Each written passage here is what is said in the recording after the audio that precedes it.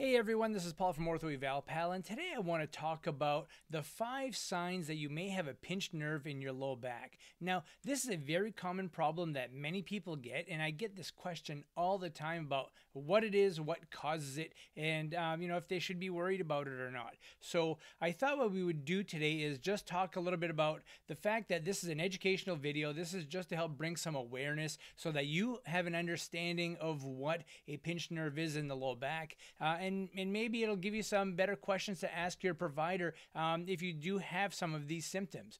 So before we get started with the, the five signs and symptoms, I thought we would start to talk about the normal anatomy of the back. And just to get you oriented, this is a uh, piece of spine from the low back, okay? And this is the vertebrae right here, as you can see. And then in between each vertebrae is a disc. Now that disc is a jelly-like substance on the inside and nice rings on the outside. And just behind that, if we tilt it this way, you'll notice that this is the spinal cord going down this canal. All right, so this is the back, this is the front, and off of the spinal cord are these little nerves that come off of each side. They help to control different parts of your leg uh, and different parts of your hip. So uh, you can see where this nerve comes out through this nice large hole right here. Okay, that's called the vertebral foramen, and this is called the nerve root deep inside here, and this is where that nerve comes out. Now, are, there are three different ways that nerve can get pinched in there, and the most common is a herniated disc. Okay, so here is the disc again and this is the inner part of the disc and you can see where it's starting to push out toward the back here a little bit. And then if we were to take a side view right here you can see that there's a little disc material that's a herniated disc where that material is leaving the disc itself going into this canal and filling up this hole. So you can see where the nerve here would be getting quote unquote pinched in that area. Okay, so there is something taking up space in that hole where that nerve is coming out.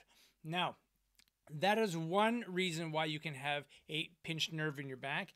The next one could be if we take a look at this one here, not only is there a herniated disc, but you can see where the joint is over here, and that joint can develop a bone spur right on the backside, as you can see right here. And that spur can work its way into that hole where that nerve is and cause it some irritation. Now, the other thing that can cause irritation is simply swelling inside of there. So, fluid builds up in there and it can compress that nerve and cause some irritation to that nerve. Now, most people who have a pinched nerve in the back do not actually have back pain. Okay, the symptoms usually go down the leg. Now, the other thing that is important to remember about a pinched nerve in the back is that it usually follows some sort of a pattern.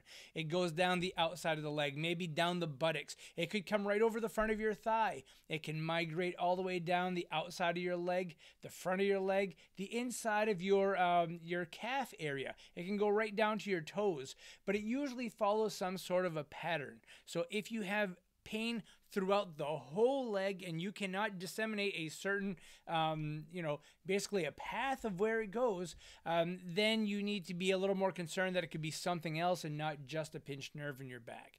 So what are the five most common signs and symptoms? Well when this nerve gets pinched uh, and compressed over here what will happen is you can start to develop some tingling down your leg okay the next thing that you'll notice is you'll have some pain going down your leg. Some people will have back pain, but most will not. This is going to be more of a problem where the pain goes down the leg. Now, you could also have numbness. Now, what's the difference between tingling and numbness? Tingling is that fuzzy sensation that you feel almost like your leg is falling asleep and it's a little tingly in there. Um, and that is more of a, a, a tingling sensation. Now, if you have numbness, numbness is when you touch part of your leg and you cannot feel it at all. Okay, like your big toe is completely numb, you touch it, you don't even know that you're touching it. That is true numbness. Okay.